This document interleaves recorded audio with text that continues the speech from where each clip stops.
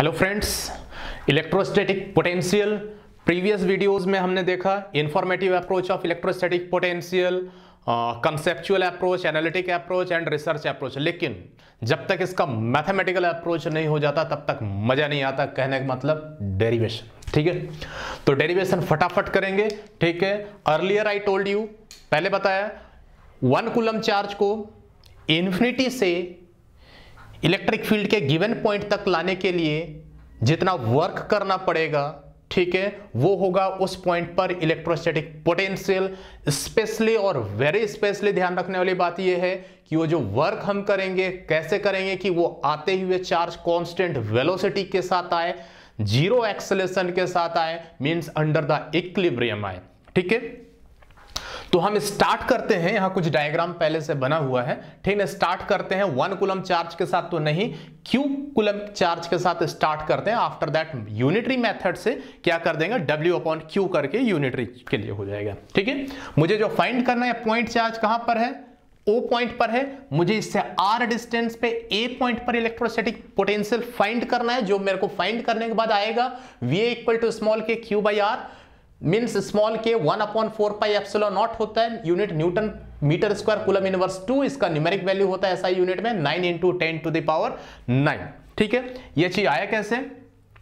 अब इन्फिनिटी कौन जाएगा उसको लेने के लिए चेक करने के लिए कि कितना हो रहा है। इसके लिए हमारे पास एक मैथमेटिकल अप्रोच होता है, जिसको हम कैलकुलस बोलते हैं। एक स्मॉल फ्रैक्शन में हम वर्क करेंगे, उसके बाद इस लिमिट को हम जहाँ से चाहते हैं, ठीक ना अपर लिमिट यहाँ पहुँचा देंगे इनिशियल लिमिट और ठीक है एन को जहाँ पर हम फाइनली पहुँच रहे हैं, यहाँ पर पहुँचा देंगे, ठीक है? वो हो गया आपका इंटीग्रेशन के लिमिट ठीक है? तो वर्क स्टार्ट करने के लिए, ठीक है work done for the small displacement की अगर हम बात करते हैं, ठीक है? Work done for the small displacement dw work done for a small displacement dw equal to force dot displacement dx मैं यहाँ पर छोटे से डिस्प्लेसमेंट की बात कर रहा हूँ। ये पर दोनों ही वेक्टर हैं। ये दोनों वेक्टर हैं। ठीक है? यहाँ पर जो वर्क हो रहा है ठीक है वो किस पर हो रहा है? क्यू चार्ज पर हो रहा है। ठीक है? नाउ द क्वेश्चन स्टैंड यहाँ जो पहले से प्लस कैपिटल क्यू चार्ज बैठे हुए हैं, वो स्मॉल क्यू पर कैसा फोर्स लगाएँगे? रिपल्सन फोर्स लगाएँगे। कैसा रिपल्सन फोर्स लेंगे? उस रिपल्सन फोर्स के कारण इस फोर्स का डायरेक्शन होगा इस डायरेक्शन में। ठीक है? एफ़ इलेक्ट्रोस्टैटिक जो वर्क कर रहा है, इधर करेगा। ठीक है this will be Q E ठीक है? क्या होगा? क्यू ई ई था आपका पॉइंट एम पर अगर मैं बात करता हूँ ई e की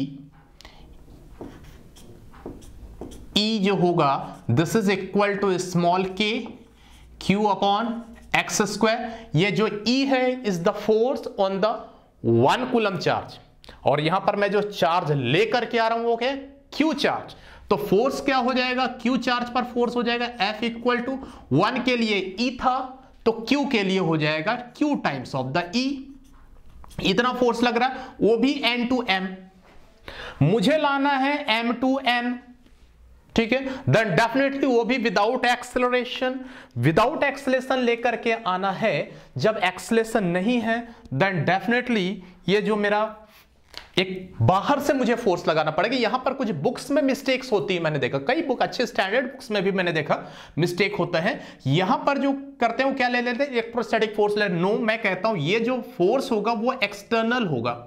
सोर्स यहाँ पर इलेक्ट्रिक फ़ील्ड का नहीं होगा। ये जो आपका फोर्स है इलेक्ट्रिक फ़ील्ड का है, जो एक्सटर्नल फोर्स लगेगा ई e एक्स लगेगा जो होगा, वो होगा एफ़ ई के equal in magnitude but opposite in direction so that मैं इधर नेगेटिव साइन लगा रहा हूँ। ये तो वेक्टर के टर्म की बात थी ठीक है? सो दैट अब देखिए यहाँ पर, इस डायरेक्शन में मेरा लगा external force F E X इधर। ये जो एफ़ एक्सटर्नल है इलेक्ट्रोस्टैटिक फोर्स को क्या कर रहा है? बैलेंस कर रहा है। Net force they are equal in a magnitude but opposite in a direction यहीं पर कुछ बुक्स में मैंने, अच्छे बुक्स में भी मैंने मिस्टेक देखा है मैंने। मैं इस चीज़ को रिपीट कर रहा हूँ so that here the work is done on the charge by the external source अगर एक्सटर्नल सोर्स नहीं होता तो क्या इलेक्ट्रिक फ़ील्ड उस पर फोर्स लगा के अपनी तरफ़ लेके आएगा? नहीं। डेफिनेटली इलेक्ट्रिक फ़ील्ड तो उस चार्ज को रिपल कर रहा है।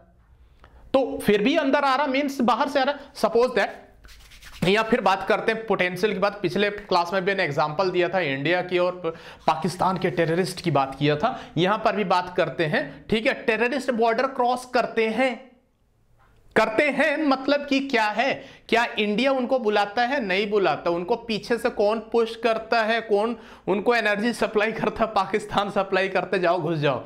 अगर पाकिस्तान पीछे से एनर्जी सप्लाई नहीं करेगा तो क्या इंडिया उनको इनवाइट कर रहा? नो ना? ठीक है? So that here external force जो लग रहा है, वो इलेक्ट्रोस्टैटिक फोर्स को क्या कर रहा है? बैलेंस कर रहा है। जब हमारा जो हम, जो अपोज करते हैं, ठीक है इंडियन आर्मी जो अपोज करती है और जो पाकिस्तान की आर्मी जो टेररिस्ट को पुश करती है, ठीक है, दोनों इक्वल हो जाते हैं तो इक्विलिब्रियम कंडीशन में without acceleration with constant velocity terrorist अंदर आ जाते हैं, ठीक है, लेकिन वो कंडीशन अब नहीं होती, पहले होती थी, ठीक है।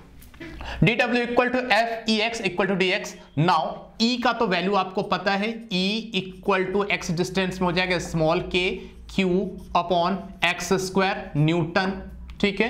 ये ये तो ऊपर भी मैंने लिख दिया है। देन डी डब्ल्यू वर्क हो गया।